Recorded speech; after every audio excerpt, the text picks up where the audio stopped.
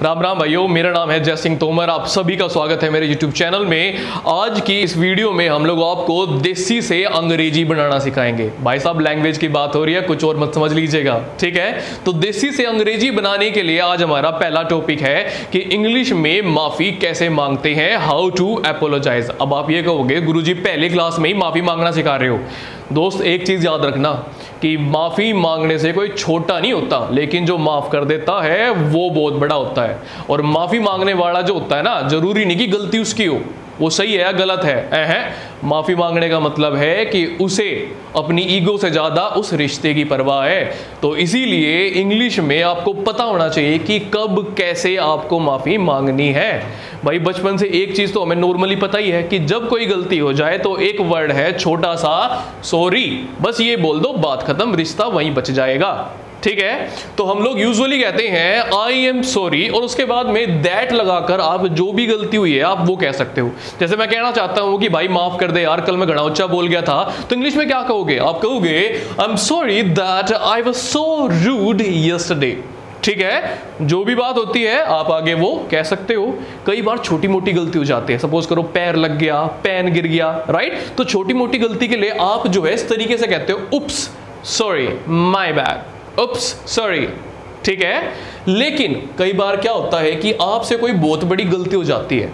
लेकिन शुरुआत में तो आप उसे मान नहीं रहे, लेकिन बाद में फिर आपको आत्मग्लानी होती है। आप कहते हो हाँ जी, मेरी गलती थी, मैं इस चीज़ को स्वीकार करता हूँ। तो इस चीज़ को कैसे कहोगे? जब आप रेस्पॉन्सिबिलिटी लेते हो ना किसी काम की तो हम उसे इंग्लिश में कहते हैं it's my fault it was my fault ठीक है? उसके बाद में जो भी बात आपने कहनी है, आप वो कह सकते हो कि ये मेरी गलती थी। यहाँ पे आप ज़िम्मेदारी ले रहे हो, एक बहुत ही मैच्योर काम कर रहे हो, ठीक है?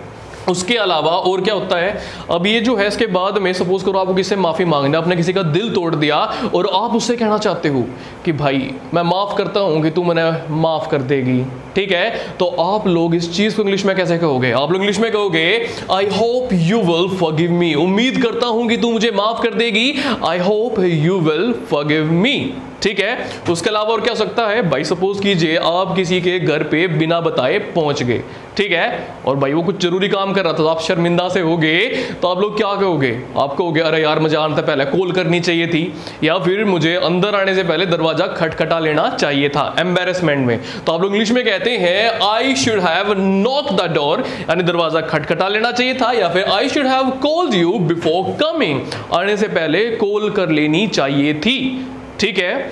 अब बात करते हैं कि अगर आपको माफ़ी मांगनी है किसी अपने सीनियर से, किसी अधिकारी से तो वहाँ पे सॉरी वर्ड का इस्तेमाल ना करो। वहाँ पे थोड़ी सी सीरियस बात हो जाती है। तो फॉर्मल लैंग्वेज में सॉरी बोलने के लिए आप लोग सीधा एपोलोजाइज वर्ड का यूज़ करें। आप कहिए I apologise for the delay I apologise for my mistake जो भी बात है वहाँ पे एपोलोजाइज कह सकते हैं। ठीक है? तो यहाँ पे आपने देखा कि माफ़ी मांगते कैसे हैं। अब अगर कोई व्यक्ति आपसे माफ़ी मांग रहा है तो आप उसे माफ़ कैसे करेंगे? जरा ये भी सीख लीजिए। भाई, कई बार जब कोई माफ़ी माँगता है, आप कहते हैं, चल कोई ना। ठीक है? चल कोई ना को इंग्लिश में आप कहते हैं दैट्स ओके दैट्स ओके ठीक है? कई बार आप कहते हो, अरे, हो जाया करे, कोई बात ना। ठीक है? हो जाया करे। उस इंग्लिश में आप कहेंगे इट हैपेंस ठीक है? कई बार आप कहते हो, अरे, कोई दिक्कत ना है भाई, कोई दिक्कत ना। कोई दिक्कत नहीं है को आप इंग्लिश में कहेंगे नो प्रॉब्लम नो प्रॉब्लम आप कहते हो घनी टेंशन मत ना ले तो कोई बात नहीं। इस चीज़ को आप इंग्लिश में कहेंगे don't worry about it don't worry about it लेकिन अगर सामने वाले ने आपका दिल तोड़ा है और आप कहते हो, जा, तुझे माफ़ किया। तो इंग्लिश में आप कहेंगे आई फॉरगिव यू जा तुझे माफ़ किया। ठीक है?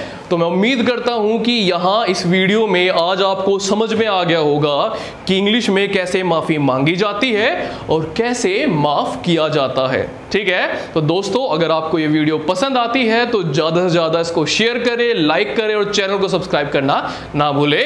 धन्यवाद। राम राम।